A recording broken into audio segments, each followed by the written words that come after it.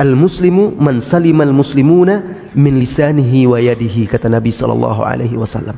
Seorang muslim yang baik itu yang selamat kaum muslimin lainnya dari lisan dan dari tangannya. Perhatikan wahai saudaraku. Barangkali orang lain selamat dari tangan Anda, tapi apakah mereka sudah selamat dari lisan Anda?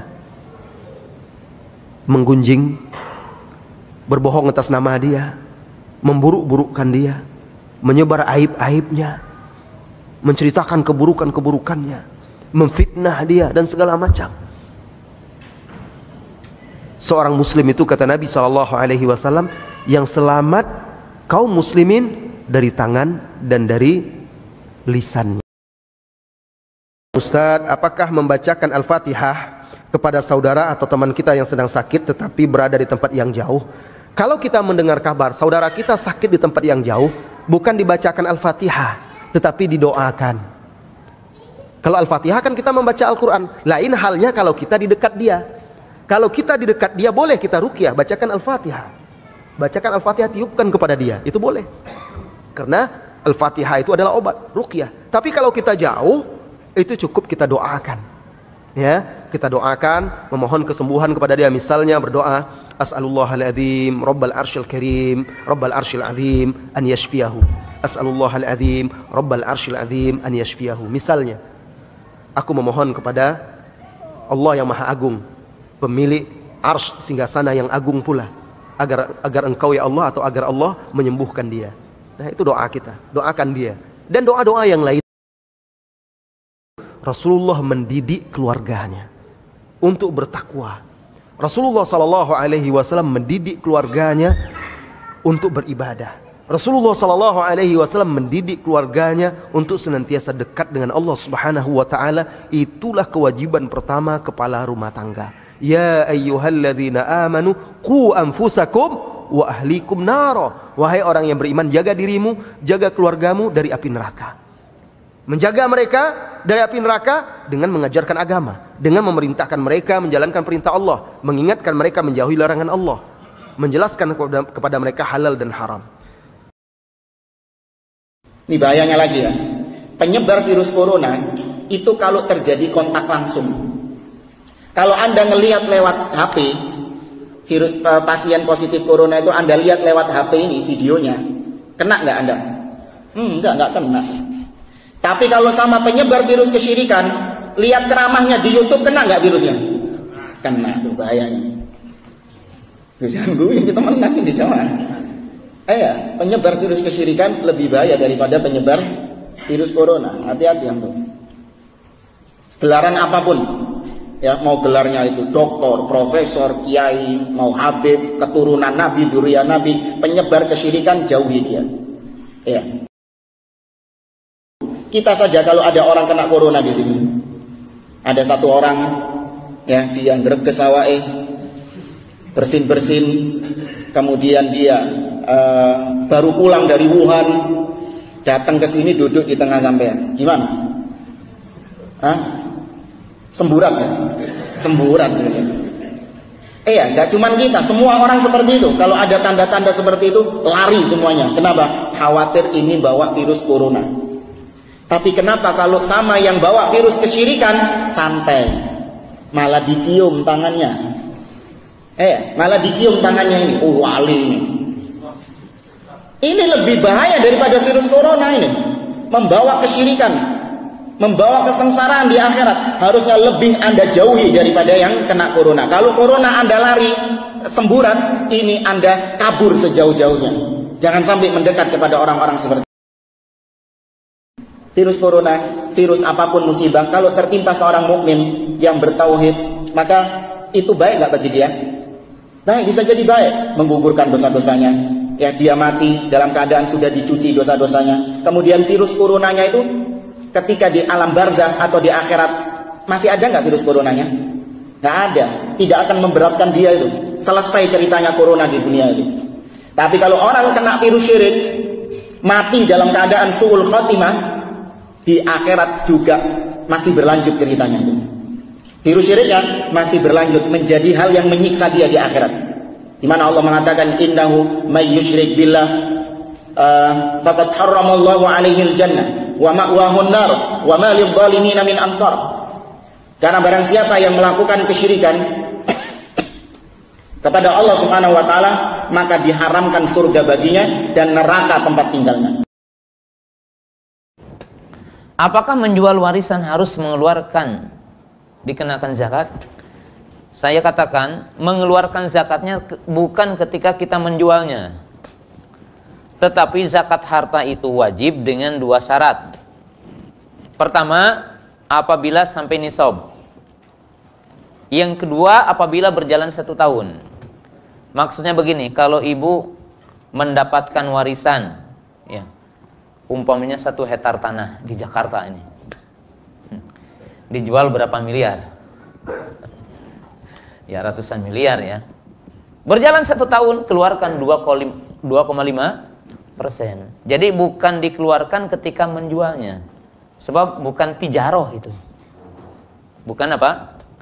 Tijaroh bukan jual beli. Jadi dikeluarkannya ketika setelah berjalan satu tahun apabila sampai kepada nisab. Bagaimana kalau kita menambah panjang itu hanya dalam sujud terakhir? Sebagian para ulama berdalil dengan dalil bahwa berdoa di ujung solat, ukbah solat. Maka sebagian para ulama mengartikan ukbah solat, ujung dari solat yaitu sujud terakhir, tasyahud akhir, dan setelah apa? Salam. Maka tidak mengapa, karena sujud itu termasuk akhir dari dari solat. Dubur sholat ya. Jadi dubur min kuli sholatin. Hanya saja wallahu taala alam setiap perkara yang Nabi SAW tidak mengkontinyukannya dan ini sebagian kaidah yang belum saya sampaikan sebenarnya. Maka kita pun tidak boleh mengkontinyukannya. Bagaimana cara menasihati suami yang hanya mencukupkan dengan ibadah-ibadah wajib saja? Sedangkan dia meyakini dan menisbatkan kepada manhaj salaf? ya mukosir dia apa kurang ya. Karena tentunya kita mengetahui bahwa setiap ibadah yang Allah perintahkan ada penyertanya jadi kalau kita ingin puasanya sempurna maka puasa ini harus disertai dengan yang lainnya. Sholat malamnya sodakohnya baca Qurannya dan yang lainnya. Ya berikan nasihat dengan cara cara yang baik. Ya. Sebab ibadah-ibadah sunnah itu sebagai penyempurna dan penutup dari kekurangan-kekurangan ibadah wajib kita. Doa yang paling baik, doa yang paling bagus ya di dalam doa-doa ini kan dari Al-Qur'anul Karim. Pertanyaannya, boleh nggak kita mengambil potongan-potongan ayat yang isinya itu doa yang sangat bagus dan sangat ajib kita katakan untuk kita mohonkan dan mintakan kepada Allah pada saat kita sujud. Sepakat ulama, boleh yang demikian. Kenapa? Kita mengambil potongan ayat untuk berdoa. Seperti doa Rabbana atina fid dunya hasanah wa fil akhirati hasanah wa qina adzabannar. Ini kan doa dari Al-Qur'anul Karim. Atau seperti doanya Nabi Allah Zakaria Rabbana hablana min ladunka dzurriyyatan thayyibatan innaka sami'ud du'a. Ya termasuk juga doanya Nabi Allah Zakaria Rabbi la tadarni farda wa anta khairul warisin doa-doa ketika sujud selain bahasa Arab cukup dalam kalbu kita hati kita dan Allah maha paham maha mengerti dengan apa yang kita utarakan lewat kalbu dan hati kita ini. Ya, saya memilih pendapat mayoritas ulama yang mengatakan bahwasannya kalau kita ingin membaca doa selain bahasa Arab doanya maka cukup kalbu dan hati kita saja. Khawatirnya kalau kita membahasakan dengan bahasa Indonesia atau selain bahasa Arab, khawatirnya mengganggu ibadah solat kita. Karena kita tahu ibadah salat itu kan ibadah yang khusus. Bacaan-bacaannya khusus. Perbuatan-perbuatannya pun juga khusus. Alangkah baiknya kita katakan ketika membaca doa tersebut cukup dalam kalbu dan hati kita saja. Dan kita ini terlarang untuk membaca doa, untuk membaca Al-Quranul Karim pada saat kita sujud. Terlarang untuk melakukan tilawatul Quran. Sebagaimana yang saya sebutkan tadi hadisnya, ya, ala wa inni nuhitu an aqra al-Quran rakian au sajidan. Aku kata Nabi SAW terlarang untuk membaca Al-Quran baik pada saat ruku ataupun pada saat sujud. Wa amma ruku fa'azimu fihi rabba azza wa jalla. Adapun ruku agungkanlah Allahu jalla wa ala. Wa amma sujud fajtahidu fud du'a faqaminun ayyustajaba lakum. Ketika sujud bersungguh-sungguhlah kalian berdoa karena doa ketika sujud tersebut diijabah dan dikabulkan oleh Allahu jalla wa ala bagaimana nasib seorang muslim yang memiliki banyak hutang disebabkan menafkahi keluarganya sampai meninggal dan belum mampu melunasi hutangnya. Dan ahli warisnya pun tidak mampu membayar hutangnya. Berkaitan dengan hutang ini Rasul Shallallahu Alaihi Wasallam beliau berlindung dari hutang. Karena berat masalah hutang ini. Jangan menggampangkan hutang. Tapi kalau kondisi yang dikatakan tadi ini benar-benar susah, yang pertama harus dia lakukan, dia berusaha agar minta kepada orang-orang yang dihutangin itu untuk menghalalkan, minta maaf sama dia, datang kepada orang-orang yang pernah memberikan uang dan belum sempat dibayar ya. Kemudian yang kedua orang yang punya hutang ini niatnya harus benar. Niat orang yang mau utang tuh niat mau bayar. Bagaimana kalau kita menolong saudara kita, kemudian kita mengharapkan balasan dari dia, itu yang bermasalah.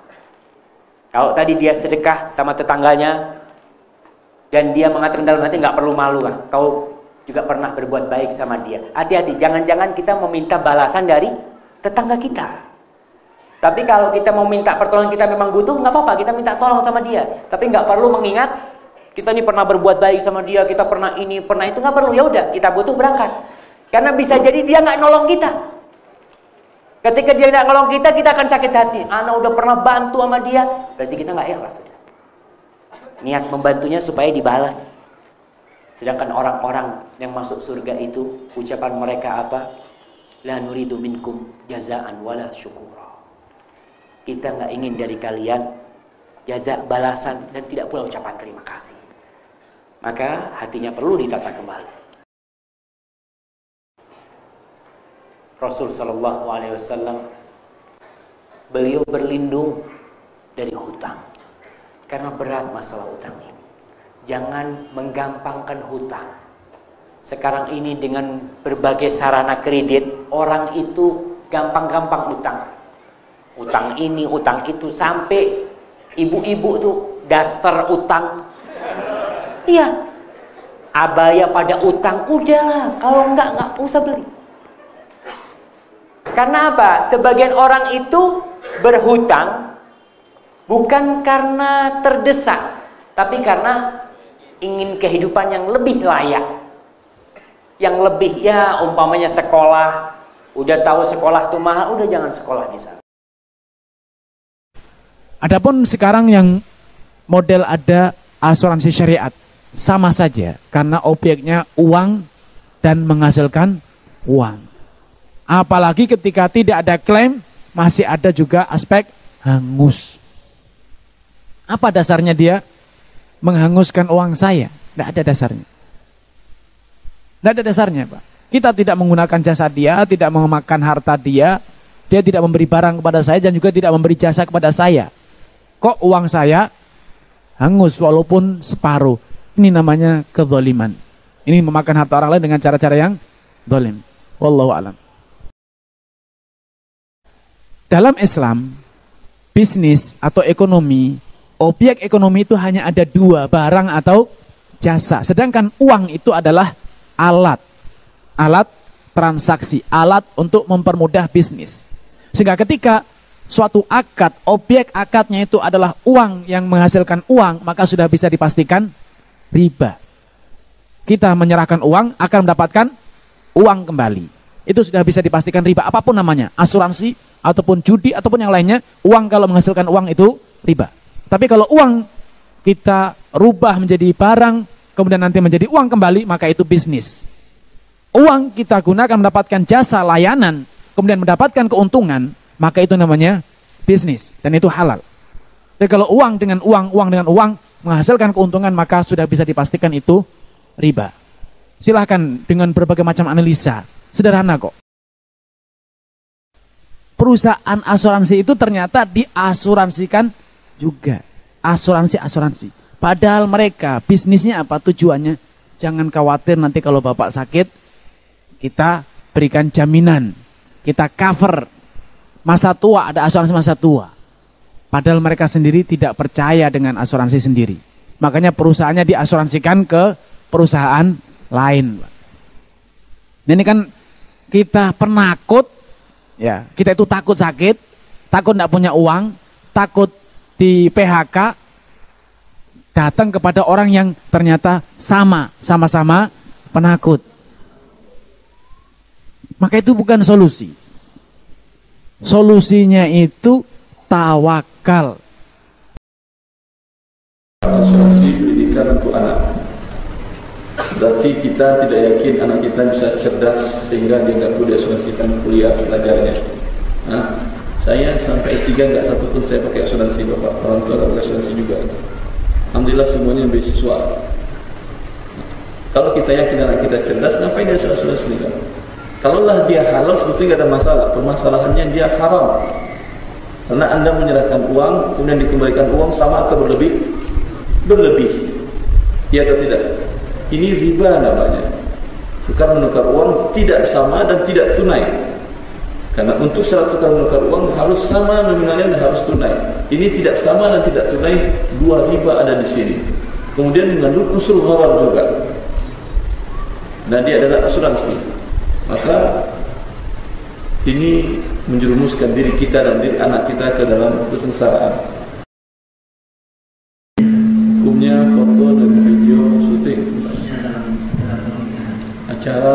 Pernikahan. Yang difoto di acara pernikahan itu siapa? Yang orang menutup aurat atau tidak? Kalau orang menutup aurat dan itu gambar laki-laki, ya bukan yang anda foto adalah perempuan yang melakukan fitnah dan lain-lain, ya hukum asalnya adalah mubah. Ini dikatakan oleh Syekh Muslim dan beberapa ulama karena foto itu dia hanya menahan gambar cermin. Seperti anda bercermin, ada yang mengatakan bercermin haram, tidak ada. Tetapi kemudian gambar di cermin itu ditahan. Yang dilarang adalah memanjang foto. Tapi sekedar foto tadi, insya Allah tidak ada masalah. Bila objek fotonya tidak ada yang mengandung unsur maksiat seperti tadi. BPJS Kesehatan beda dengan asuransi pendidikan. Karena BPJS Kesehatan sekarang dia diwajibkan oleh negara di tahun 2019 kepada seluruh warga negara. Cuman masalahnya yang masih bermasalah adalah adanya denda keterlambatan. Saya pernah usulkan ini untuk dibuang melalui Direktur Keikutsertaan Nasional Dr. Budi, Dr. Budi. Beliau mendiskusikan kepada saya tinggal apalagi Ustaz menjadi halal dibuang ini denda keterlambatan. Dan Alhamdulillah mereka buang tapi belum murni dibuang 100%. Masih ada denda sedikit lebih sedikit lebih kecil. Itu bila terjadi rawat inap dikenakan denda bagi yang ter, yang terlambat membayar. Allah taala. Terus. Saya pernah membaca hadis larangan mencukur rambut sampai benar-benar habis. Bagaimana dengan orang yang suka mencukur rambut seperti iya ini betul haram ya. Jadi menggunduli rambut sampai betul-betul habis haram. Kecuali dalam dua hal. Kecuali dalam dua keadaan dan dua-duanya ibadah.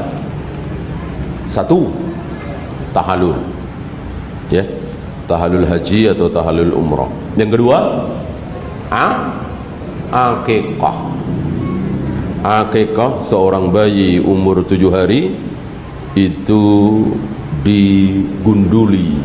Habis. Kemudian ditimbang rambutnya dan seterusnya saya pernah membaca setelah Isra Mi'raj Nabi diajari solat oleh Jibril selama dua hari iya tentang waktu jadi Jibril mengimami Nabi solat Duhur di awal waktu, asar di awal waktu, maghrib di awal waktu, isya di awal waktu dan seterusnya. Nah, besoknya duhur di akhir waktu, asar di akhir waktu, maghrib di akhir waktu. Artinya ada selang. Salat duhur itu tidak hanya 5 menit, 10 menit, tidak. Tapi kan kalau kita hitung bisa 2 jam, 3 jam. Begitu pula salat asar. Ya, ah, salat isya mungkin bisa 4 jam, 5 jam Salat subuh mungkin dua jam dan seterusnya. Ya, ada awal, ada akhir. Nah, bagaimana yang terbaik? Tentu yang awal. Ya, sahkah yang akhir? Sah. Sah. Bagaimana jika imam kunut subuh? Jangan ikut bid'ah, tidak tidak boleh diikuti. Dan yang mengatakan kunut itu bid'ah siapa? sahabat sahabat di zaman sahabat sudah ketahuan ai bunayya wahai anakku itu muhdad muhdas apa bid'ah maka seandainya ada ulama sekali bersiapapun mengatakan tidak bid'ah gugur. Bagaimana ucapan sahabat ditinggalkan? Demi ucapan si A, si B, si C? Ya. Dan gak ada bantahan dari sahabat lain. Bapak punya toko elektronik. Elektronik yang ada dalam toko itu milik Bapak. Bapak mau mengatakan siapa yang mau cash, kulkas ini harganya 2 juta. Kredit satu tahun nilainya 4 juta atau 3 juta misalkan. Ya, boleh. Dengan catatan dia mau mengambil yang mana? dia mau ngambil yang cash atau dia transaksinya adalah kredit maka itu boleh pak ya karena tentu akad bapaknya tidak ada apa-apa kredit itu adalah memudahkan bagi orang dengan catatan barang itu milik bapak bukan mengambil pihak ketiga untuk membayar bukan nama orang saja pak sampai nama masjid. Boleh nggak kita bikin nama masjid Allah? Hah, begitu juga tidak boleh namanya Rahman. Karena nama Allah dan Rahman hanya untuk Allah, zat pencipta. Zat yang memiliki, memiliki lama yang paling luas. Maka robahlah nama masjid yang ada Rahman dengan Baitur Rahman. Sama dengan Baitullah. Silakan. Tapi tambah bait. Ya. Tambah bait aja. Rumah Rahman. Rumah zat yang memiliki kasih sayang yang maha luas. Ya. Jadi nama dua tadi Bapak Ibu tidak hanya kepada manusia saja, tapi tidak boleh disebut kecuali hanya kepada Allah zat yang menciptakan langit dan bumi. Bagaimana hukumnya dalam satu barang dua harga cash 2 juta. Kredit satu tahun 3 juta. Terjadi perbedaan pandangan ulama dalam masalah ini. Ada sebagian ulama memandang seperti ini tidak boleh. Namun mayoritas ulama memandang yang model itu boleh. Dengan catatan kita pastikan kita mau mengambil nilai yang mana. Kita akad kita itu mau mengambil yang cash yang nilai 2 juta atau yang nilai 3 juta. Ya, dan itu flat. Kalau kita ingin berorang yang baik, ini buat maka yang terbaik terlebih dahulu kita memperbaiki diri. Kita ingin orang baik tapi kita sendiri tidak pernah ingin baik kita perbaiki diri. Pasti Allah akan memberikan yang terbaik untuk kita. Selalulah berharap yang terbaik tapi bersiaplah yang terburuk. Agar kita tidak menjadi kecewa ketika kita mendapat sesuatu yang di luar jangkauan kita. Kita ini selalu berharap yang terbaik tapi tak pernah bersiap yang terburuk. Begitu kurang saja tuh dia. Kedua kalau pilih jodoh Jangan sebentar nazar. Nazar tu disebutkan kalau sudah betul-betul mau nikah baru nazar. Ini baru kenal, nazar dulu ustaz. Lihat ini anak orang sudah satu kampung dilihat. tak ada satu pun yang dinikahi yang sudah datang ke rumahnya lah lihat anaknya udah makan kenyang lah apa ini pulang tak jadi kenapa jalan baliknya tak tahu lagi ustaz Antum kalau dia anak gadis seorang dengan di WA, ukti bangun malam yuk. Apa? Anak orang ente bangunkan malam, adikmu, kakakmu, ibumu tak pernah kau bangunkan malam. Dakwah ustaz, dakwah syaitan. Jangan kalau berani datangi rumahnya. Maaf Pak, Assalamualaikum. Ada apa? Saya lihat di taman ini sudah ada bunga yang sedang mekar. Bapaknya ngomong, bunga apa? Rumah saya tak ada bunga-bunga di sini. Jangan takut. Bukan itu maksud saya, Pak Anak Bapak. Kamu bilang anakku bunga? Sembarangan saya. Tidak, Pak. Maksud saya terus terang. Saya mau melamar anak Bapak. Kalau dia tanya balik, apa pekerjaanmu? Ya melamar anak Bapak. إنما الأعمال بالنيات وإنما لكل امرئ ما نوى من كان هجرته إلى الله ورسوله فهجرته إلى الله ورسوله من كان هجرته للدنيا أو امرأة ينكوها fahijratuhu ma'alaiha tidak disebutkan lagi apa ini menunjukkan tujuan yang salah antum kalau ingin hijrah dan taubat jangan karena wanita tetap lillahi ta'ala sudah itu antum berdoa saya lihat ada orang doa, Allah sudah lama. Berapa lama doanya? Udah lima tahun pak. Apa doa? Ya minta anak yang soleh dan soleha. Dikabulkan atau tidak? enggak pak. Ada apa? Udah punya istri? Belum pak. Antum belum punya istri? Antum berdoa minta anak yang soleh? Tidak dikabulkan. Antum harus minta istri. Jangan istri soleh. Soleh kan marah deh ini minta istrinya. Istri soleha. Jangan salah doa. Mu'allaf itu kata ulama orang yang baru masuk Islam dan yang diharapkan orang kafir yang diharapkan keislaman itu mu'allaf. Tolong ibu catat bu ya. Mu'allaf itu bukan orang yang baru masuk Islam. Karena gini banyak orang yang baru masuk, sudah masuk Islam puluhan tahun bilang saya mu'allaf. Mu'allaf itu apa sih artinya? Mu'allaf itu orang yang masih ragu, masih bimbang, taklif itu perlu diambil hatinya supaya dia mantap dan yakin dengan keislamannya. Makanya dikatakan mu'alaf jadi kalau ada orang sudah masuk Islam puluhan tahun yang lalu jangan dibilang mu'alaf lagi. Itu sudah mu'alaf basi itu. Bukan mu'alaf kadang-kadang gini ada oknum ya maaf gitu. Dia sudah saya dulu non muslim lalu dia masih masih bilang bapak ibu sekalian saya mu'alaf saya mu'alaf bantu saya bantu saya. Ini kan oknum namanya. Sejak kapan dia masuk Islam? Tahun 80 ini bukan bukan mualaf gitu loh. Kalau kita kesiangan sholat subuh yang pertama kali kita kerjakan sholat apa? kalau kita kesiangan yang jawab kau belia itu yang ngajinya udah lama mas saya ini ya yang yang jawabannya subuh berarti baru ngaji ibu ya baru hadir berdasarkan hadis siapa hadis Abu Hurairah bahwa Nabi ketika kesiangan subuh yang pertama beliau kerjakan sholat apa? Qobliyah subuh, jangan sholat subuh. Nabi alaihissalam pernah kesiangan subuh. Pertama kali yang beliau kerjakan sholat qobliyah, qobliyah subuh baru sholat subuh, baru sholat subuh. Itu bu jawabannya. Ya. Sudah kita sampaikan di bab sebelumnya bahwa komat itu berlaku bagi mereka yang sholat di masjid dan bagi yang sholat sendiri. Allah memuji mereka yang selalu komat.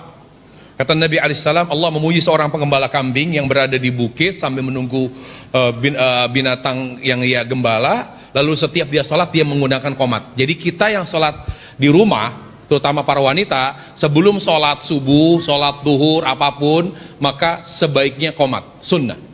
Yang sahih, komat itu dikerjakan termasuk bagi yang akan mengerjakan sholat fardu sendiri. Jadi sebelum mengerjakan sholat, ibu komat dulu. Ya jelas bu ya. Ustadz setelah sholat apakah sebaiknya tetap dipanjatkan doa atau zikir saja? Ini sudah diulang kembali. Yang mencukupkan dengan zikir tidak keliru.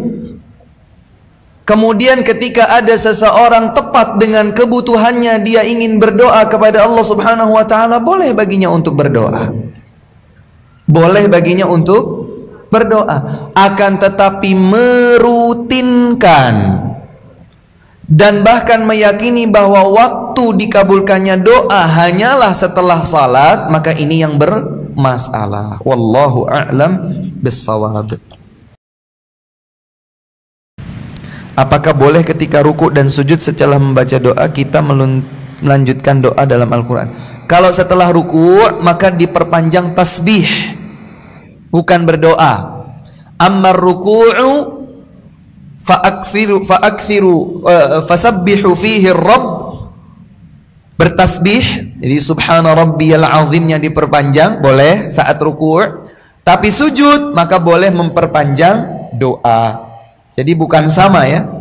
Bukan habis ruku' habis bacaan ruku' juga panjang berdoa maka ini tidak dianjurkan. Kalau doanya dalam dari Al-Qur'an bagaimana? Boleh. Karena memang hadirin sekalian, terdapat sebuah hadis yang menyebutkan bahwa kita tidak boleh membaca Al-Qur'an saat sujud. Pertanyaannya adalah bolehkah kita berdoa di dalam Al-Qur'an di dalam sujud doa-doa yang diambil dari Al-Qur'an? Maka jawabannya boleh. Karena saat kita berdoa yang ada di dalam Al-Qur'an saat sujud kita bu, kita bukan sedang membaca Al-Quran tapi sedang membaca doa Wallahu ta'ala alam untuk menutupi jati diri mereka bahwasanya saya itu rafidah yaitu dengan namanya taqiyah. Dan ini wajib mereka harus lakukan harus mereka tunjukkan jalankan ketika berhadapan dengan umat Islam. Kata lainnya taqiyah adalah nifaq munafik di depan kita manis di depan kita atau menolong kita mendukung kita baik akhlak bagus dan seterusnya. Tapi ketika bersama mereka baru mereka menunjukkan ke keasliannya. Insya Allah tidak perlu khawatir dengan negara kita walaupun juga dengan yaitu kabinet yang baru sekarang. Insya Allah mereka semuanya sudah mempersiapkan segala sesuatunya nggak perlu khawatir insya Allah tapi yang paling penting bagaimana dengan diri kita masing-masing dengan dengan diri kita untuk bisa membentengi kita, keluarga dan juga masyarakat. Allahu a'lam. Tinggal kembali kepada kitanya umat Islam. Sebesar apa antibodi yang kita sudah punya? Ini yang paling penting. Bagaimana membentengi diri kita, keluarga kita, anak-anak kita karena mereka itu sangat luar biasa dahsyat strateginya untuk mempengaruhi yang namanya umat Islam dengan sosialnya, dengan kelembutan yang ada pada mereka, dengan akhlaknya mereka yang baik, dan juga dengan segala banyak hal-hal yang positif yang tidak mudah umat Islam untuk mencurigai mereka. Tidak mudah. Bahkan ada sampai tokoh di Indonesia, di Jakarta khususnya, dan dia dikenal di seluruh Indonesia, subhanallah. Padahal jelas pemahamannya itu benar-benar sudah muncul pemahaman yang mendekati dengan Rafidhah. Dan dia komitmen di dalamnya. Di Jakarta pernah terjadi yang namanya saling pukul pak nonjok untuk membela ini orang. Karena sama sekali tidak menunjukkan jati diri aslinya siapa sebenarnya beliau itu. Dari orang yang memang sangat dermawan sangat sopan santun baik merangkul semua. Subhanallah. Tapi dari tulisan-tulisannya dari beberapa kajian-kajiannya dari beberapa pemahamannya jelas mengarah ke sana. Mengarah mengarah ke sana. Subhanallah. Karena pemahaman mereka akidah mereka mereka itu punya tameng. Punya tameng punya kedok bahasa kasarnya gitu kan untuk menutupi jati diri mereka bahwasanya saya itu rafidah yaitu dengan namanya taqiyah dan ini wajib mereka harus lakukan harus mereka tunjukkan jalankan ketika berhadapan dengan umat Islam. Dan uh, bagaimana dengan uh, nenek-nenek gitu loh? Oh, iya. Uh, biasanya Oma-oma, kan Ustaz. oma-oma dan seterusnya. Uh, boleh apa enggak? Memang ada pembicaraan di tengah-tengah para ulama tentang nenek-nenek yang sudah nggak tertarik nikah lagi dan Rozak dan Fani juga nggak tertarik sama dia. Aduh, ya Allah Ustaz. Heeh, tapi kalau nenek-nenek masih seger, masih kenceng gitu. Iya. Perawatan. Perawatan. Nah, itu nggak boleh jelas. Oh, gitu. Nah, tapi yang perlu kita ingat, madhab Syafi'i itu nggak membolehkan. Nggak membolehkan secara mutlak termasuk nenek-nenek. Oke. Karena hadisnya mutlak, Nabi nggak pernah nyentuh tangan wanita, nggak pernah berjabat tangan dengan wanita dan ditusuk dengan besi atau ditusuk dengan jarum besi itu lebih baik. Dan hadis itu nggak ada bicara kelompok umur Ustaz ya? Iya nggak bicara kelompok umur. Jadi pokoknya wanita yang udah balik kita udah nggak boleh sentuh lagi aja Ustaz ya? Iya. Itu poin yang perlu direnungkan ya. Oke, Ustaz. Ya, salah satu sunnah Nabi berjabat tangan ya. Iya. Eh, bukan hanya di Idul Fitri tapi juga di momen-momen yang lain. Bahkan Nabi SAW mengatakan ketika seseorang berjabat tangan dengan saudaranya maka dosa-dosanya akan berguguran sebagaimana gugurnya daun dari sebuah pohon. Pohon. Itu luar biasa. Masya Allah. Jadi ini yang perlu kita eh, resapi. Tapi nggak semua orang bisa kita jabat. Nggak semua tangan orang bisa kita jabat. Nah, iya Ustaz. Dan yang nggak boleh adalah wanita yang bukan mahram kita. Artinya eh, mahram itu wanita yang nggak boleh kita nikahi selama lamanya. Oh. Jadi kita boleh jabat tangan laki-laki dan wanita yang kita nggak boleh nikahi selama lamanya. Perlu kita renungkan bahwa ada eh, ancaman loh dalam Hmm. masalah ini. Nah, jangan sampai kita ngerusak suasana Lebaran kita gara-gara ini. Oh. Nabi mengatakan la an yut'an fi ra'si ahadikum bi mikhyatin min hadid khairun lahu min an yamassa imra'atan la tahilu lahu. Ditusuknya kepala seseorang dengan jarum yang terbuat dari besi itu lebih baik daripada dia menyentuh wanita atau laki-laki yang bukan mahramnya. Jadi ditusuk, bayang- ditusuk di kepala lagi. Jadi bayangkan kita lagi eh, have fun di Lebaran main bola, tiba-tiba kaki kita keinjek paku, itu kegembiraan hilang tuh. Nah gimana dengan ditusuknya kepala kita dengan eh, jarum besi? Dan ini hadis ini surat Imam Tabrani. Hmm. Jadi ini yang perlu kita jaga jangan sampai kegembiraan itu rusak gara-gara ini. Iya dong Ustaz. Dan ini pandangan empat imam madhab. Madhab Malikiyah, Hanafiyah, Syafi'iyah, dan Hanabilah. Sepakat tuh Ustaz ya. Yang empat imam madhab itu tidak membolehkan. tidak dosa. Antum dikasih hadiah sama akhwat jubah. Jubahnya kita pakai. Dosa nggak? Tidak dosa. Yang dosa pacarannya. Betul? Dengan dikasih jubah, hati kita berbunga-bunga. Ya. Hati kita senang. Si akhwatnya juga senang. Karena hadiahnya selalu dipakai untuk sholat lima waktu. Pacarannya itu yang dosa. Jubahnya tidak najis. Ya, terima boleh terima, tapi dengan catatan, maaf Mbak, manggilnya apa? Mbak ya. Maaf Mbak, ini jubahnya saya terima ya. Tapi ingat sekali lagi, kita tidak ada hubungan apa-apa. Nah gitu. Kamu bukan istri dan saya bukan suami. Kalau kamu berminat jadi makmum saya, tunggu tanggal mainnya. Nah, ini. Apa solusi kita ketika ada seorang wanita bertanya tentang suatu masalah kepada kita? Apakah kita menjawabnya atau membiarkan pertanyaan tersebut karena takut terhadap fitnah wanita? Jawab pertanyaannya, sekedar pertanyaan. Ada wanita nanya masalah agama, jawab masalahnya. Tapi jangan dibumbui dengan yang lain-lain. Begitu jawab pertanyaan, sukron, boleh minta nomor HP-nya? Boleh minta nomor rumah? Nggak boleh, jangan dibumbui dengan obrolan. Karena biasanya pertanyaan itu hanya untuk mancing. Memancing reaksi kita. Kita punya perasaan tidak dengan si wanita tersebut. Ya. Maka para akhwat, kalau nanya ke laki-laki, tidak usah dibuat suaranya merdu-merdu. Assalamualaikum.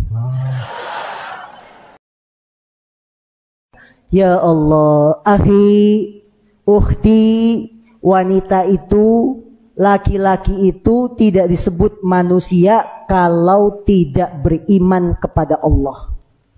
Manusia itu bukan disebut manusia dengan fisiknya saja, tapi dengan imannya baru dia dikatakan manusia. Kita mengagumkan artis Korea, mengagumkan aktor Korea. Untuk apa? Dia kafir. Kafir apa? Kelebihannya kita cintai. Para sahabat itu yang kita cintai. Rasulullah itu yang kita idolakan. Bukan orang-orang ka kafir. Karena Rasulullah bersabda, "Man tasyabbaha biqaumin fahuwa min minhum." Barang siapa yang menyerupai satu kaum, maka dia termasuk kaumnya. ketika Nabi cerita tentang ditiupnya sangkakala. Kemudian para sahabat merasa berat, berat. Nah, itu takut para sahabat itu kalau diingatkan dengan akhirat. Takut. Maka mereka tanya, saya harus ngomong apa ya Rasulullah? Apa yang harus saya baca?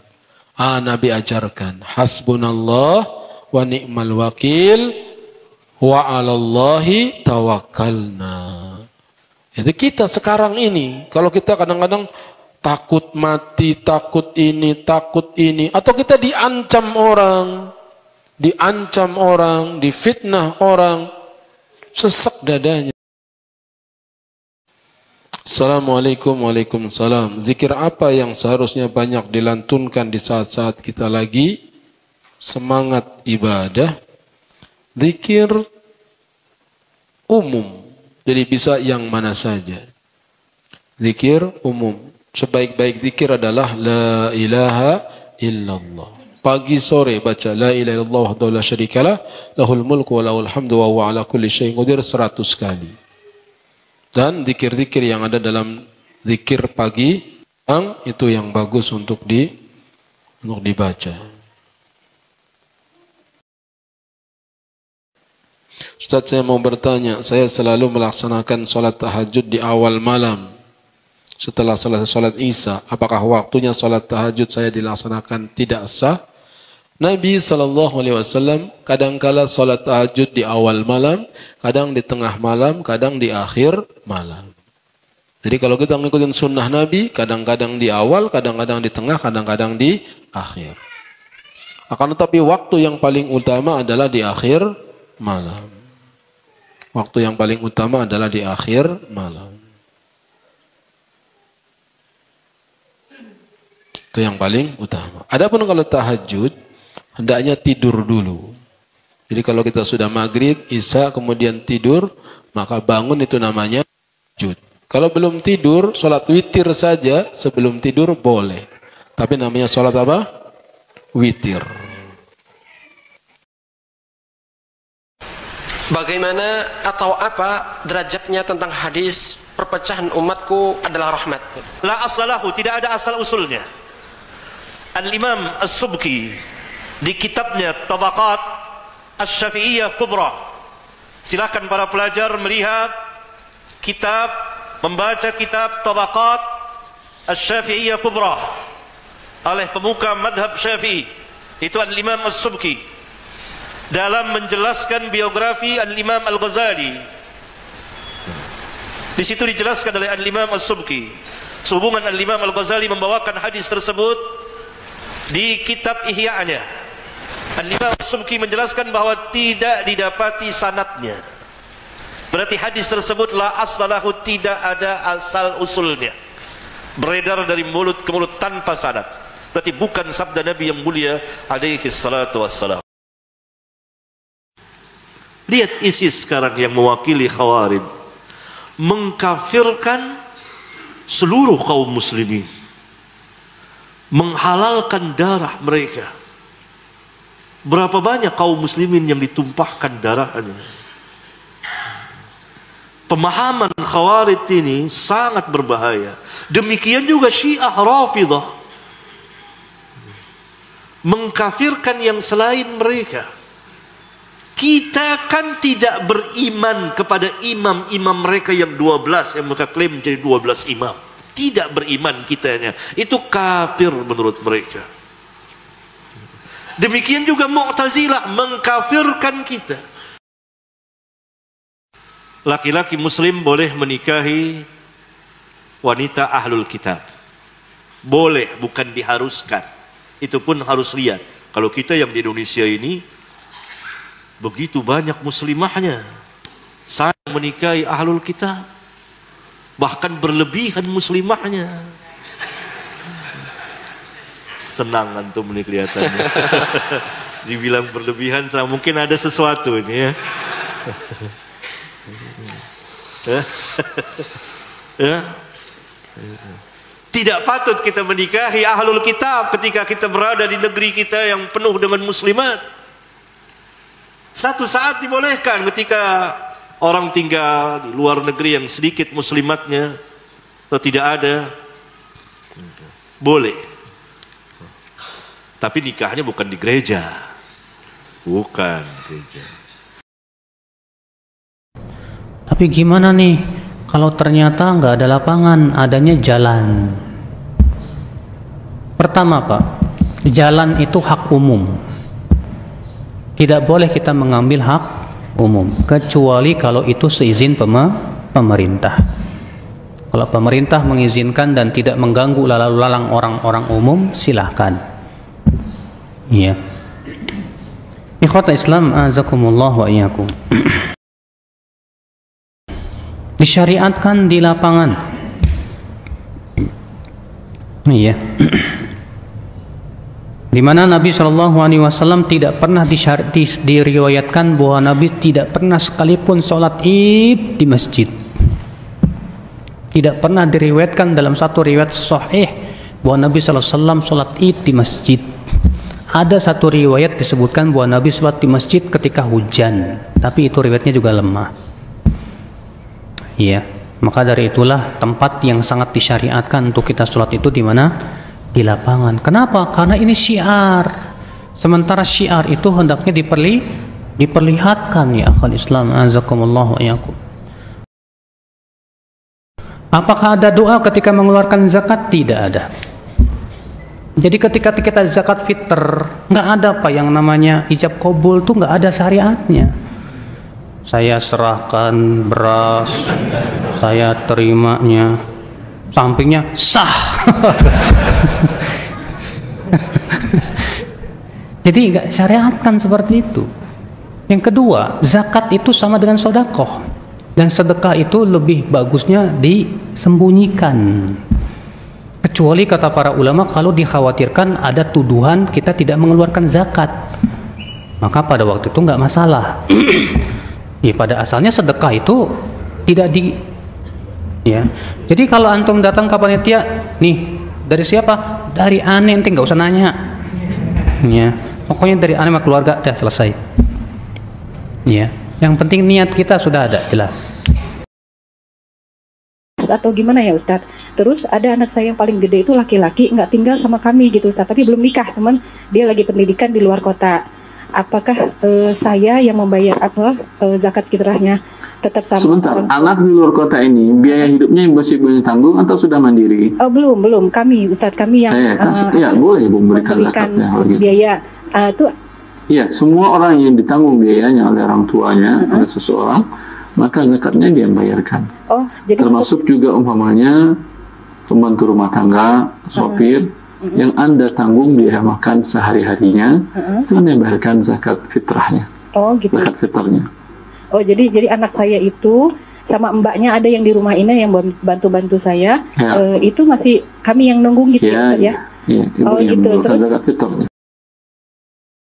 Dan demikian juga bagaimana satu hukumnya eh, terutama di Ramadan ini di beberapa masjid kita dapatkan halaman-halaman masjid berubah menjadi tempat bazar dan jual beli eh, di area masjid dan apakah itu masuk ke dalam larangan jual beli di dalam masjid Ustaz? Eh, termasuk bila umpamanya tanah tanah dari eh, masjid tersebut milik Allah wakaf. Nah. Wa annal masajid lillah fala tad'u ma'allahi ahada. Bila masjid tersebut tanahnya wakaf milik Allah yang telah seluruhnya milik seseorang diwakafkan atau dibebaskan dan diwakafkan. Nah. Di sini tidak boleh Anda jual beli. Masya Allah. Ya, maupun di pelatarannya, maupun di halaman parkir, halaman parkirnya, ataupun di kalau ada umumnya kantin-kantin yang masih pakai tanah masjid haram. Hmm. Karena Allah melarangnya. Masjid milik Allah, masjid milik Allah. Beli beras Ah. di musola. sama Amir Masjid itu. Eh, tidak boleh jual beli di masjid. Haram hukumnya. Wah, Iya. Tanya hukumnya Pak Ustaz gimana Pak Ustaz? Boleh nggak itu Pak Ustaz? Baik. Ah, itu jawab itu saja, Bang Ahmad. Oke, oke. Ya, jazakallah khair. Silakan. Allah barik fiik. Rasulullah SAW meriwayatkan Bukhari dan Muslim bahwa beliau melarang berjualan di masjid. Ah, anil bait fil masjid. Ya. Maka eh, apa? Amil amil zakat bentukan masjid-masjid tersebut yang melakukan akad jual beli masjid telah melanggar sabda Rasulullah sallallahu alaihi wasallam dalam hal ini. Maka biarkan orang bawa beras dari rumahnya atau beli di tempat lain atau beli bekerjasama dengan sebuah koperasi atau apa sediakan tempat bagi mereka yang bukan di masjid, bukan di halaman masjid, bukan tanah masjid.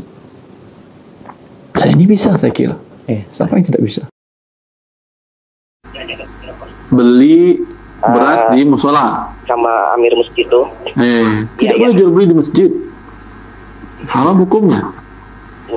Iya. Tanya hukumnya Pak Ustaz gimana Pak Ustaz? Boleh nggak itu Pak Ustaz? Baik. Ah, itu jawab itu saja, Bang Ahmad. Oke, oke. Ya, jazakallah khair. Silakan. Allah barik fiik. Rasulullah SAW meriwayatkan Bukhari dan Muslim bahwa beliau melarang berjualan di masjid.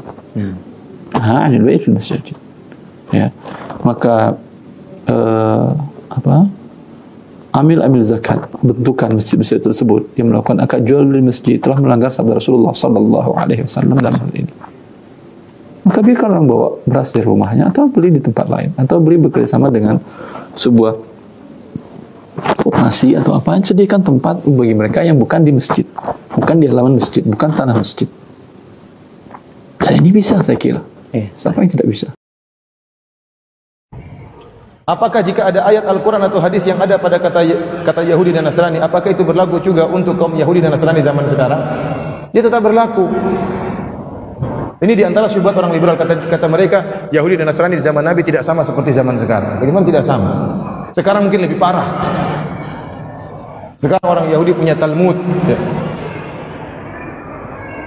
Sama, apa bedanya? Tidak ada yang dulu sampai sama sama sekarang sama aja, sama-sama Trinitas, sama-sama mengatakan orang Nasrani sama-sama mengatakan Isa adalah anak Allah Subhanahu wa taala. Orang-orang Yahudi sama-sama mengatakan Uzair adalah anak Allah Subhanahu wa taala. Yang sama-sama mereka meyakini bahwasanya mereka adalah suku bangsa yang terpilih oleh Allah Subhanahu wa taala.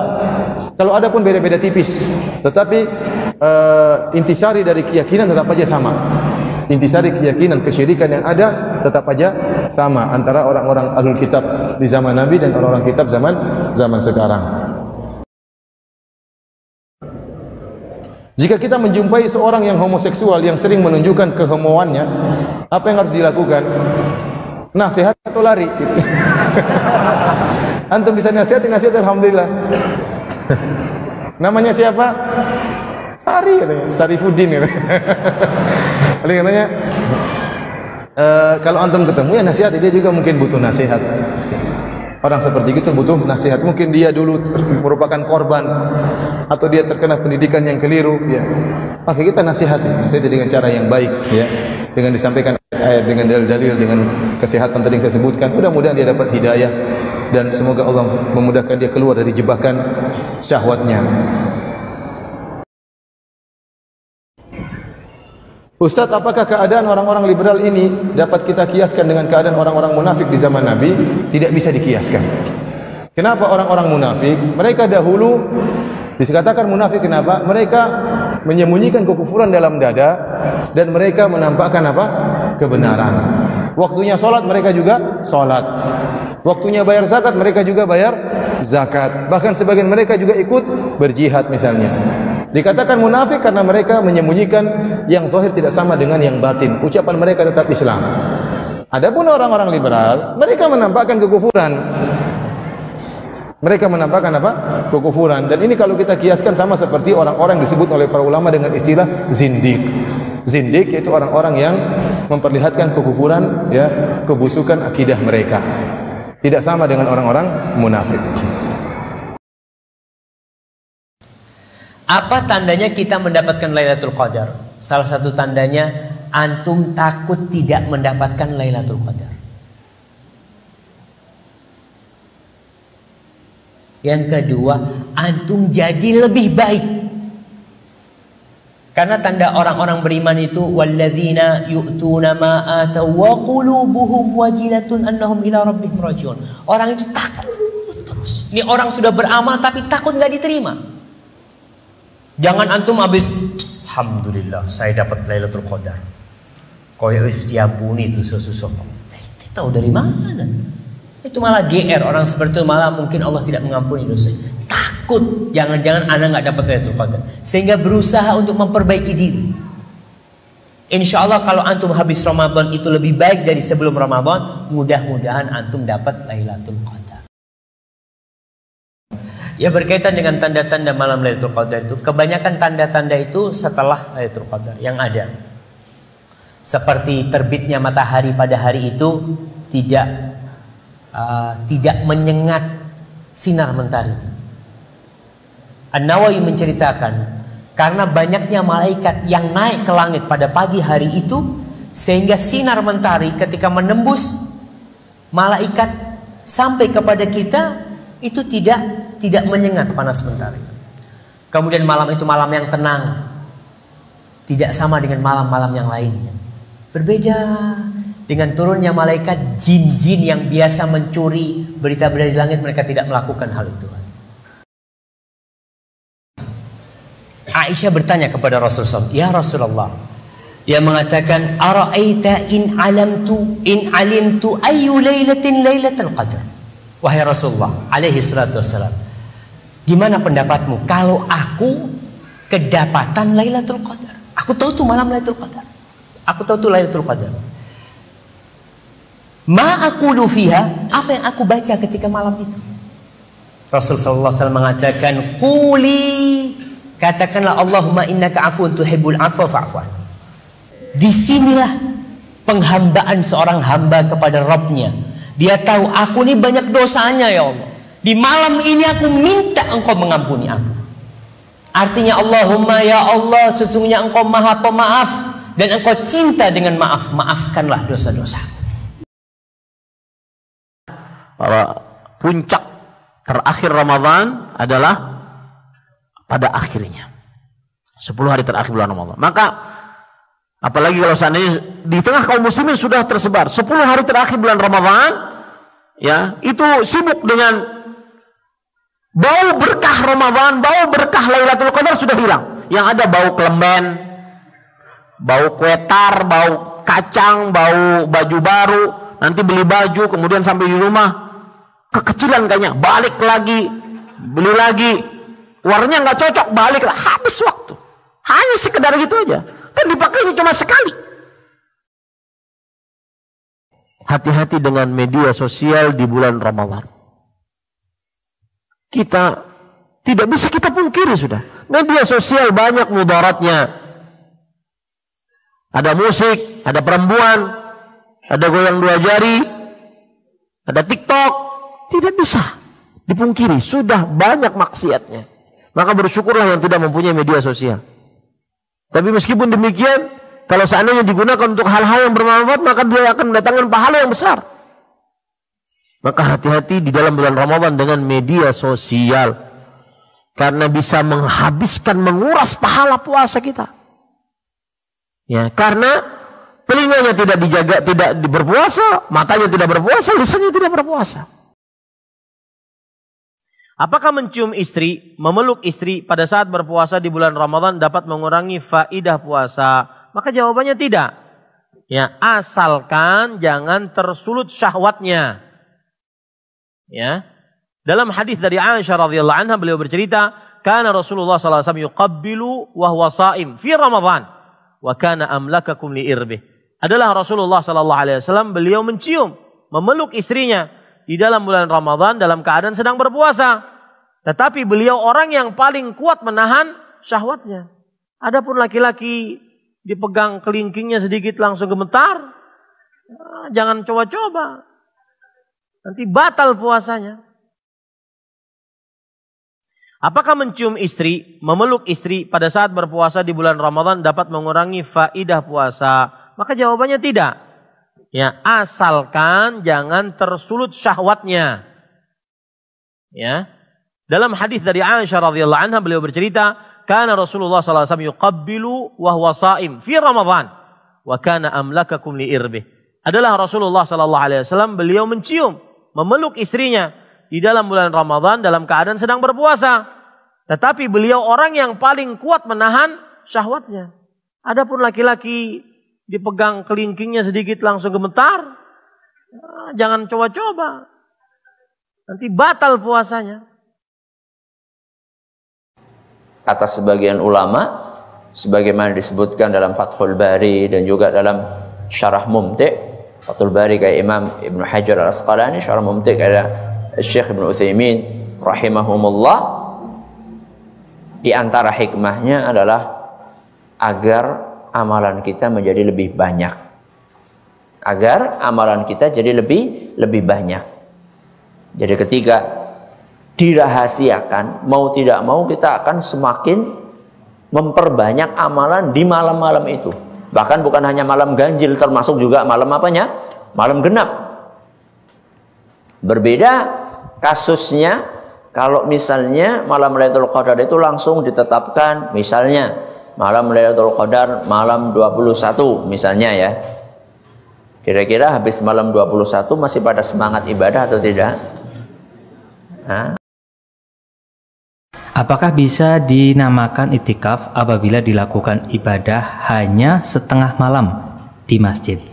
Hanya dilakukan sekitar jam 12 malam sampai jam 4 pagi. Mohon jawabannya Ustaz. Apakah bisa dinamakan iktikaf orang yang berdiam di masjid jam 12 malam sampai menjelang subuh? Bisa dikatakan iktikaf, tapi iktikaf minimalis. Iktikaf apa? Minimalis.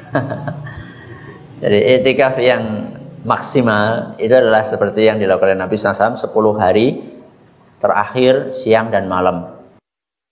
Kalau bisa. Kalau apa? Kalau bisa. Kalau tidak bisa ya seperti yang tadi dicontohkan bisanya malam hari ya tidak apa-apa. Ya, bisanya malam hari tidak apa-apa. Walaupun Nabi kita Muhammad sallallahu alaihi wasallam dalam beberapa hadis yang sahih antara lain dalam hadis riwayat Bukhari beliau mengatakan taharrau lailatul qadri fil witri min al ashril awakhir min Ramadan carilah lailatul qadar di hari malam-malam yang ganjil di malam-malam yang ganjil dari 10 hari terakhir bulan Ramadan Walaupun Nabi SAW sudah mengatakan seperti itu, akan tetapi kapan jatuhnya rahasia.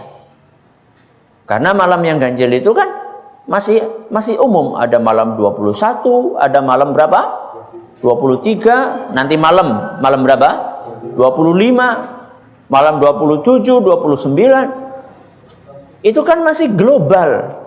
Dan sengaja dirahasiakan. Berkumur-kumur boleh. Asal nggak berlebihan. Wa balik listinsak illa antakuna iman.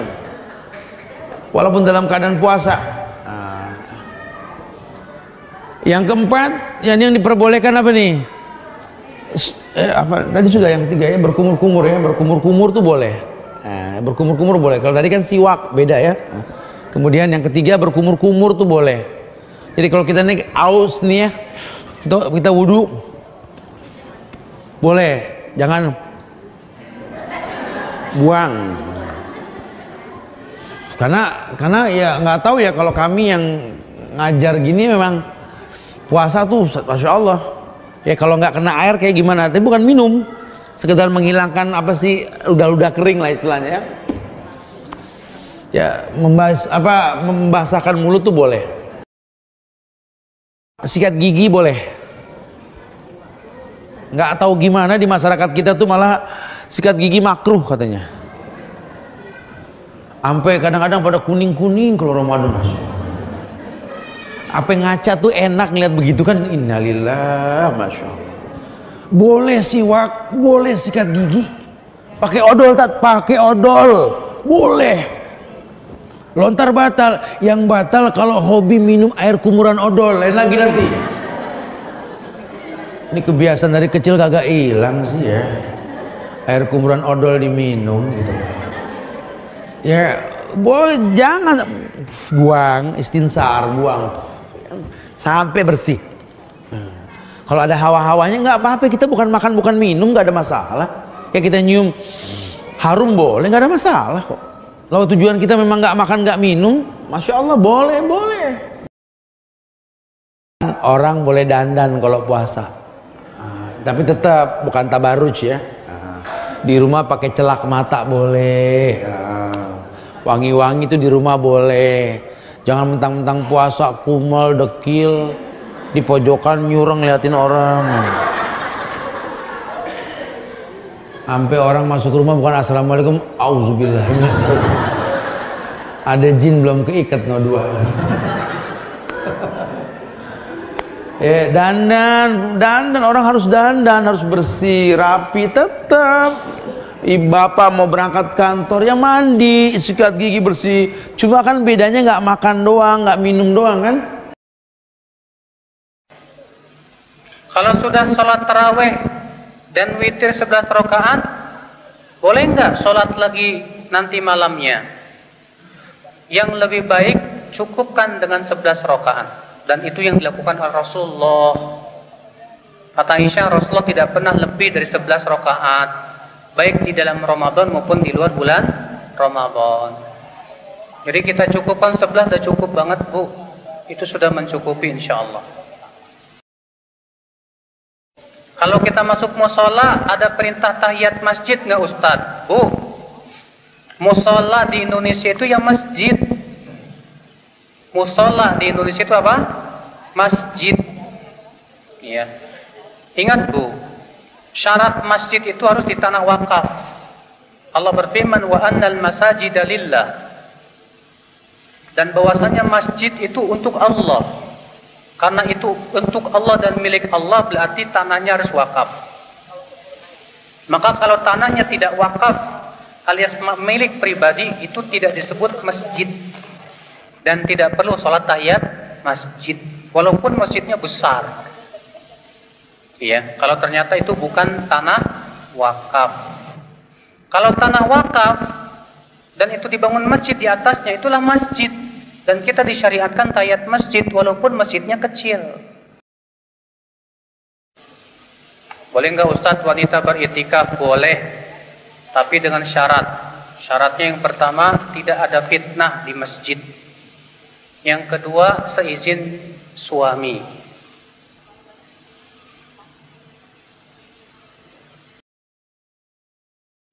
Mama saya sudah meninggal Ustadz. Lalu bagaimana jika selama mama Ana masih hidup beliau tidak melaksanakan puasa Ramadan? Apakah amalan yang bisa dilakukan untuk beliau Ustadz agar Allah ampun ampunkan dosanya dan Ana harus bagaimana Ustadz ya Allah khairan Ustadz. Ya terima kasih atas pertanyaannya. Uh, yang pertama jadilah anak yang soleh. Semoga Allah uh, Allah maafkan ibu kita dengan kesolehan kita dan doa-doa kita. Ingat ketika para ulama menjelaskan waladun soleh ya daulah doa anak yang soleh. Kata para ulama doa di dalam hadis ini itu sampel. Bukan hanya doa yang yang yang sampai ke orang tua tapi semua amal ibadah itu sampai ke orang tua ada doa khusus tidak Ustaz memohon pertolongan Allah agar Ramadan kita menjalankan ibadah lebih baik lagi.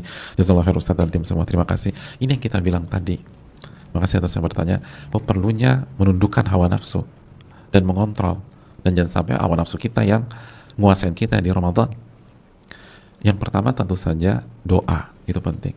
Makanya kan salah satu doa kan Allahumma ati nafsi taqwaha wa zakkiha anta khairu man zakkaha anta waliyuha wa maulaha ya Allah ya Allah berikanlah uh, ketakwaan pada jiwa dan nafsuku Allah ma'ati nafsi taqwa Wazakiyah anta khairu man zakat dan bersihkanlah jiwa dan nafsuku itu. Dan kau sebaik-baik yang membersihkan.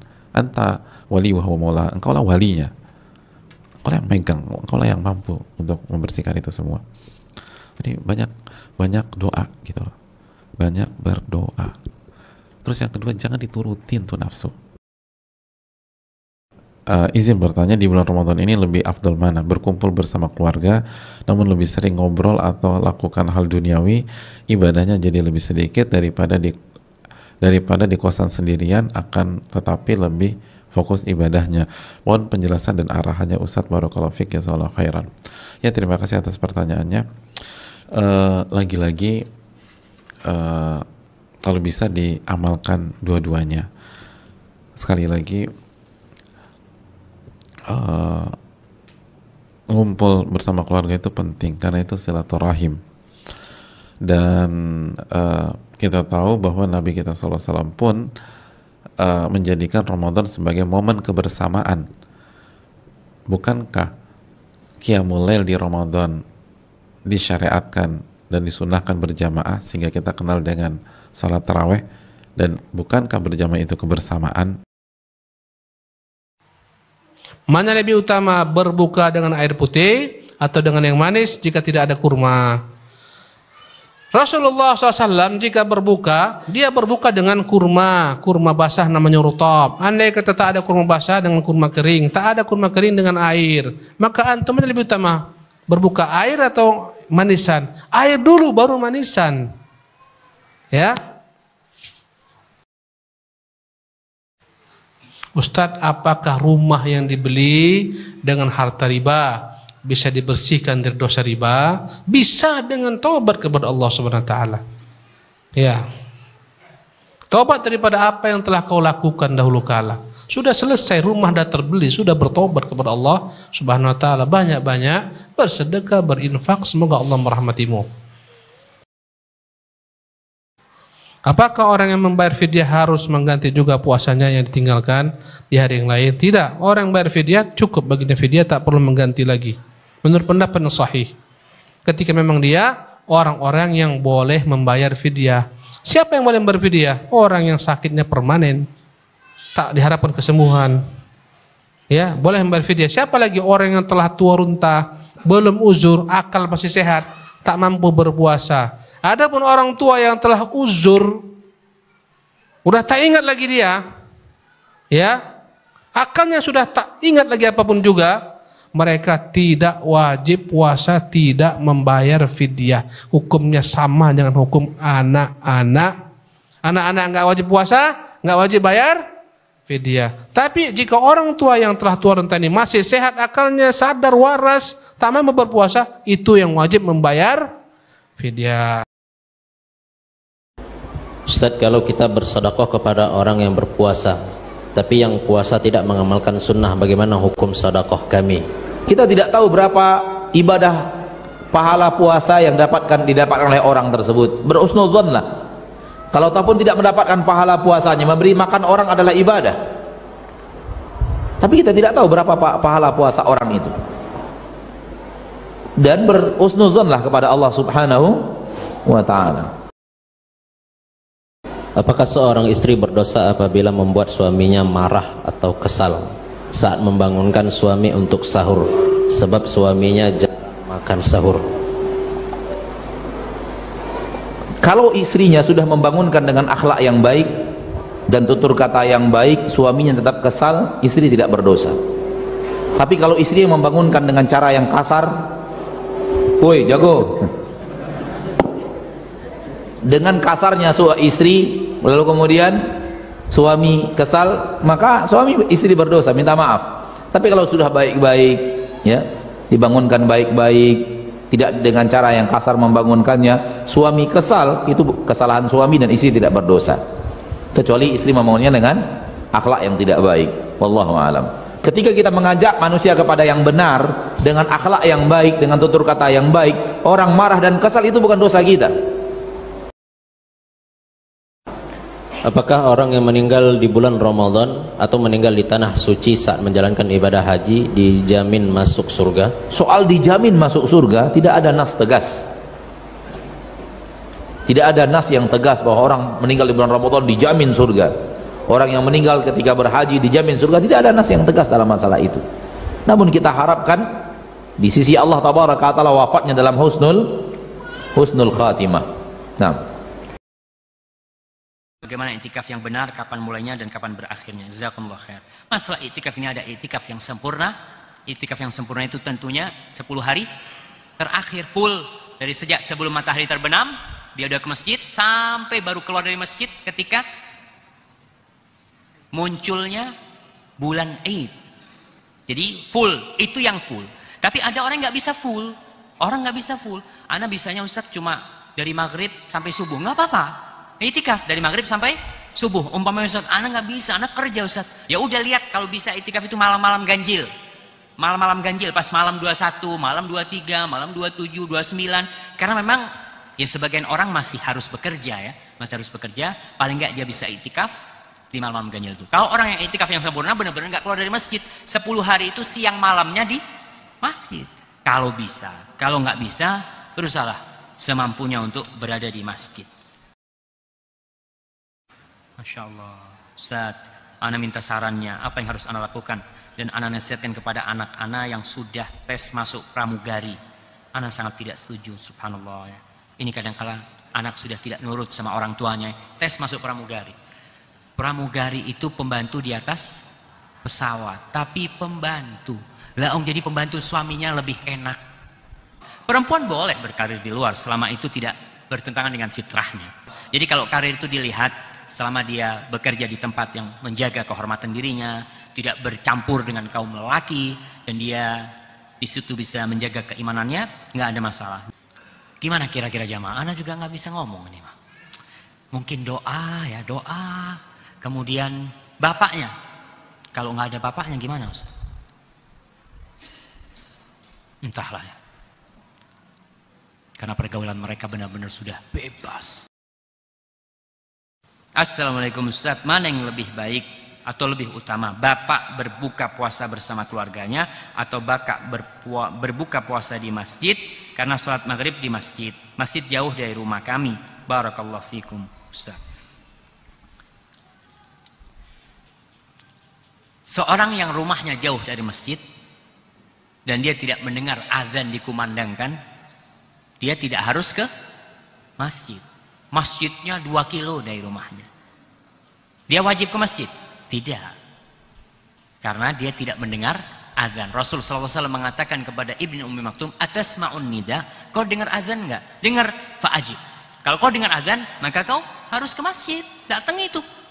Datang itu masjid itu kalau kau dengar azan. Tapi kalau rumahnya jauh, ya udah, tidak harus ke masjid. Walaupun ke masjid nggak apa-apa. Cuma buat dia sudah tidak lazim gitu loh. Bagaimana hukumnya bila kita sedang berpuasa di pagi hari, kita melakukan hubungan suami istri tapi baru tahu kalau itu ada dendanya. Baru tahu kalau ada apa? Ada dendanya. Berarti tahu kalau itu haram. Tahu kalau itu haram dan kalau itu tahu itu terlarang. Maka ya dinikmati membayar kafarat memerdekakan budak kalau tidak menyembelih onta. Tidak punya onta sapi. Berapa harga sapi pak sekarang? 12 juta. Ya silahkan 12 juta sembelih bagi-bagi dagingnya kepada umat Islam. Kalau tidak bisa puasa dua bulan berturut-turut. Kalau puasa dua bulan tidak bisa Ustadz sebulan saja bobol. Apa yang dilakukan? Memberi makan 60 orang miskin bagaimana dengan wanita yang berpuasa dan mengerjakan amal soleh lainnya tetapi wanita itu belum menutup aurat dan berhijab? Apakah ada pahalanya? Saya juga berhak untuk bertanya di balik bagaimana yang sudah menutup auratnya kok juga berbuat dosa? Apa ada pahalanya kalau menutup aurat? Ini egois menang sendiri merasa dirinya suci. Ini tidak boleh siapa pun dari umat Islam yang berbuat baik insya Allah dapat pahala siapa pun yang berbuat dosa akan mendapatkan dosa berbuat maksiat dapat dosa faman ya'mal mithqala dzarratin syarran yarah. Yang berbuat jelek, fam ya'mal mithqala dzarratin khairan yarah, wa may ya'mal mithqala dzarratin syarran yarah. Yang berbuat baik dapat pahala, dia akan dapatkan kelak hari kiamat. Yang berbuat buruk walau kecil juga akan dia dapatkan di hari kiamat. Bagaimana di bulan Ramadan kok masih banyak yang berbuat dosa? Tadi dalam hadis yang dibaca Ustaz Firanda dinyatakan uh, bahwa setan itu di bulan Ramadan dibelenggu. Tapi tahukah kita, sadarkah kita bahwa setan itu ada dua jenis? Setan dari bangsa jin dan setan dari bangsa manusia. Minal jinnati wan nas. Nah, sekarang yang jadi masalah ketika setan dari bangsa jin dibelenggu namun sayangnya setan dari bangsa manusia tidak. Makanya masih malang melintang. Karena itu kalau di bulan Ramadan masih merasa berhasrat, bersemangat, masih tergoda untuk berbuat maksiat, jangan-jangan wallahu alam. Lanjutkan sendiri. Apakah kalau membayar zakat fitrah dan zakat mal harus sudah bersih dari riba? Tidak, tidak ada penjelasan para ulama harus bersih dari riba. Yang jelas harta riba itu harus disingkirkan. Kalau dia tidak bisa membedakan dari harta riba itu dari hartanya, maka keluarkan seluruh darinya seluruh hartanya dengan cara di zakati dan kemudian dihentikan perbuatan apa? ribanya ini. Makanya Allah mengatakan khud min amwalim sadaqatan. Ambil sebagian dari harta mereka itu sebagai sedekah untuk mensucikan jiwa dan harta mereka. Maka ibu dan sekalian, kalau orang itu tadinya dia pernah ber uh, pernah bercampur hartanya dengan benda riba dan dia tidak bisa memisahkan lagi, tapi dia sudah tobat dari dosa riba, selesai permasalahan. Tapi yang nggak boleh menganggap kalau dia ini berprofesi sebagai seorang rentenir misalnya, supaya hartanya bersih dari riba dizakati. Ini nggak boleh. Karena sodakoh tidak boleh dari barang yang haram. Ustaz, anak pernah baca di buku bahwa siapa yang tidak membayar utang puasa sebab malas atau lalai, maka harus kodok dan membayar fidyah. Iya, ini pendapat yang dipilih oleh Imam Al Utsaimin di antaranya penulis kitab Minhajul Muslim Syekh Bakar uh, uh, Syekh Al Jazairi menyebutkan demikian dan Imam bin Bas juga mengatakan demikian. yakni bagi wanita laki-laki yang dia meninggalkan puasanya karena malas segera membayarnya sampai datang Ramadan berikutnya, maka baginya tiga hal. Pertama, taubat kepada Allah. Karena sikap meremehkan perintah Allah Azza wa Jalla itu dosa besar. Dia wajib taubat kepada Allah Ta'ala. Yang kedua, dia membayar fidyah. Sebagai Allah menyebutnya sebagai kafarah. Ya, sebagai Allah menyebutnya sebagai kafarah. Yang ketiga, kewajiban puasanya nggak gugur. Tetap dia harus bayar di bulan setelah Ramadan selesai. Fahim tun? Nah, wallahu alam bisawab. Tapi tadi pagi saya dibuat emosi dan dibuat nangis sama suami. Apakah puasa saya ini nggak dapat pahala? Selama tidak mengucapkan kata-kata kotor, kata-kata kasar, cuman sekedar nangis, itu insya Allah nggak mengurangi pahala. Karena yang mengurangi pahala itu berteriak-teriak, meluapkan emosional. Kata Nabi, "Fala tas fala yaskhab wala yajal wala yafsuk." Kalau orang ada di bulan Ramadan, jangan dia berteriak-teriak dengan kemarahan. Jangan berperilaku jahiliyah seperti niyahah atau e, meratapi mayit. Jangan pula berbuat kefasikan, dosa-dosa. Dosa-dosa. Kalau seandainya ternyata ukti e, marah sambil mengeluarkan suara, berkurang pahala puasanya yang menyebabkannya berserikat dalam dosa. Suaminya yang membuat istrinya menjadi apa? Marah dan emosional maka suaminya ikut menanggung dosa, ah, menanggung kerugian seperti yang dialami oleh siapa? Istrinya itu.